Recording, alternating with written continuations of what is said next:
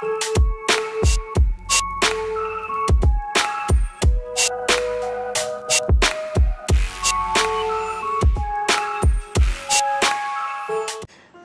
sejahtera, kita bertemu lagi di channel ini dengan satu lagi kenyataan di mana agak terkilan mentua tak tanya kabar saya dan Fatimah. Sentiasa mendahulukan keluarga bekas suami pelakon Nur Fazula terkilan apabila mentuanya langsung tidak bertanya kabar ketika ke mulut rumah tangganya dengan Fata Amin hangat diperkatakan.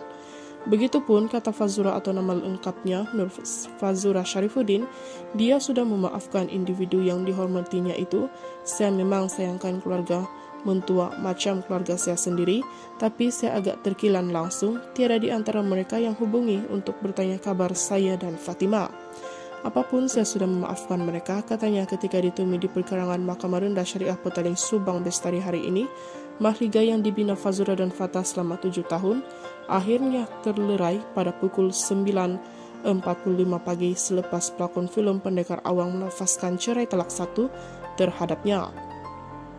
Pada prosiding kedua permohonan penceraian diajukan Fazura, aktris tersebut mengesahkan spekulasi bekas suaminya itu curang selain culas memberikan nafkah kepadanya dan anak tunggal mereka Nur Fatimah Aisyah.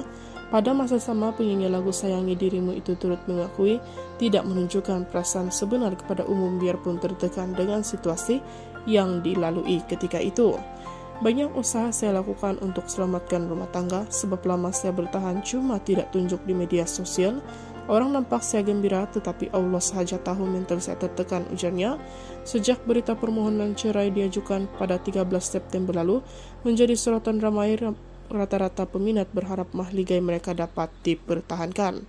Itu saja info hari ini, sekian dan terima kasih.